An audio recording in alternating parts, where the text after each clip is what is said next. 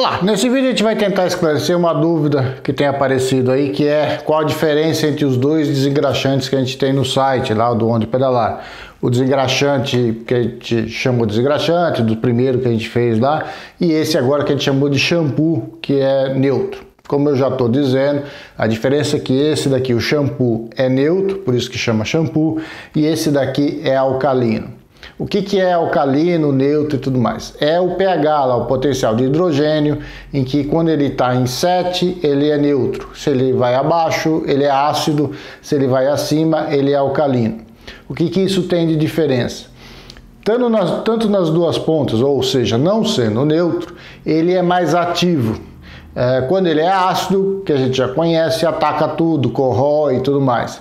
Quando ele é alcalino, ele é ativo com algumas substâncias. Então, ele, no caso da corrente, ele mexe com óleo, com a graxa e não mexe com o metal. Ele até protege o metal, porque sendo alcalino, ele é igual ao lubrificante, ele é, evita oxidação. Em termos de limpeza, é, você usando um alcalino que é bem mais ativo, é, você vai usar menos químico para fazer a mesma limpeza, porque é, ele sendo ativo, ele vai lá dentro, ele dissolve né, a, a graxa, ele vai tirar para fora, ele vai ajudar você a limpar a corrente pelo pelo lado de dentro dela, onde acontece o maior atrito, né? Aquela argolinha, quando ela pega no dente, ela meio que trava e gira, é o pino de dentro com a, com a parte de dentro da argolinha. É ali que precisa estar lubrificado é, e é ali que é preciso estar limpo ou trocar toda a lubrificação.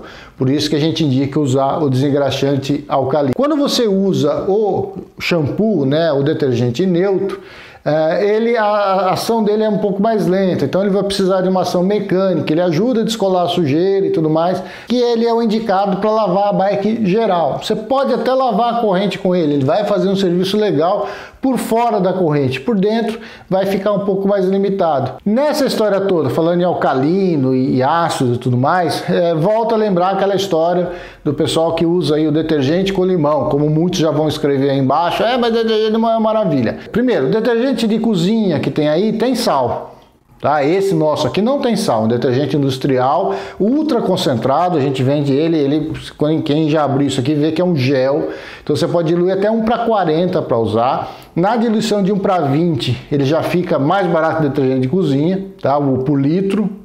É, se você diluir 1 para 10, ele dá 2,90 o litro.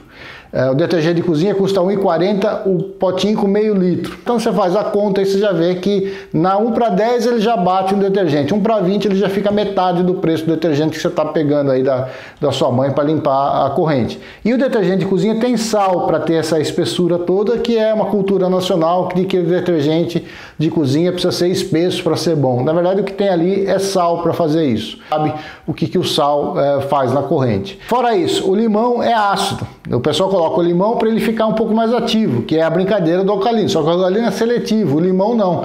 Sendo ácido, ele vai oxidar a corrente. Se você, depois que lavar a corrente, não secar logo e não botar um, um lubrificante, deixar de um dia para o outro, ela pode apresentar pontos de oxidação, dependendo do tipo de corrente. Correntes mais simples, a tendência é apresentar ponto de oxidação é, no dia seguinte, ainda mais usando uma substância com ácido. Então essa é a explicação geral do porquê alcalino, o porquê é, usar o neutro, quando usar o neutro, é, o que você pode fazer e você toma a melhor decisão. Se você chegou até aqui, até o fim do vídeo, é porque talvez ele tenha sido útil para você. Se foi, inscreva-se no canal aí embaixo, é, dá um like aí para ajudar o vídeo a se popularizar. E se tiver alguma dúvida, acesse o, o site da gente, ondepedala.com, tem um sistema de dúvidas lá, ou na loja, né, loja.ondepedala.com, que tem o acesso ao WhatsApp da gente, você pode fazer a pergunta direta.